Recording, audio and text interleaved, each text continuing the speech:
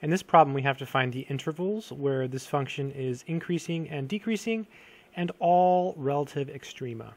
So to start this problem, we'll take the derivative and set it equal to 0. That's always the first step.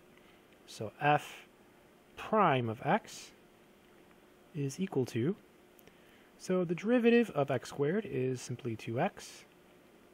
Using the power rule, right, you bring down the 2 and subtract 1 and the derivative of negative 6x is negative 6.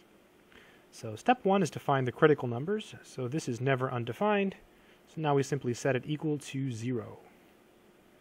All right, if you add 6 to both sides, that gives us 2x equals 6. And dividing by 2 on both sides will give us x equals 3. So this is our critical number. This is our Cn. So Step one in these problems, just take the derivative and set it equal to zero. All right, so now to find out where it's increasing and decreasing and to find all relative extrema, um, just draw a little number line and plot your critical number, so 3. And then you pick test points. Okay, so um, you pick any number you like that is uh, over here, that is smaller than um, 3. So how about 0? So let's plug that into the derivative. So it will be 2 times 0 minus 6, which is negative 6. So because the derivative is negative, that means that your function is decreasing. If the derivative is positive, your function is increasing. So now we pick another number, any number we like, uh, bigger than 3. How about 4? So f prime of 4, that's 2 times 4 minus 6. That's uh, 8 minus 6 which is 2, and that's positive. So that means it's increasing. Remember, if the first derivative is negative, your function is decreasing. If it's positive, your function is increasing.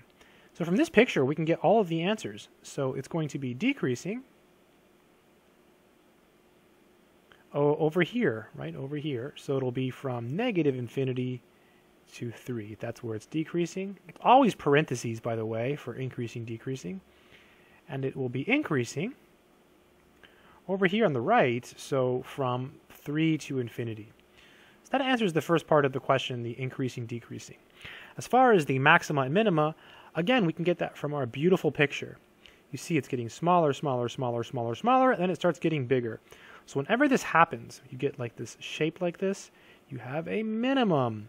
If this happens at a critical number, you have a minimum. So we have a relative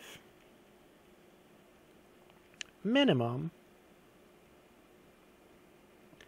at x equals 3. That's where we have a minimum. Now again, this has to happen at a critical number. So if this was like a vertical asymptote, uh, it wouldn't work. And you would find that out because uh, you would have to actually take this and plug it into the original to get the minimum. So you'll find out if it doesn't work uh, because when you try to plug the number in, it won't work.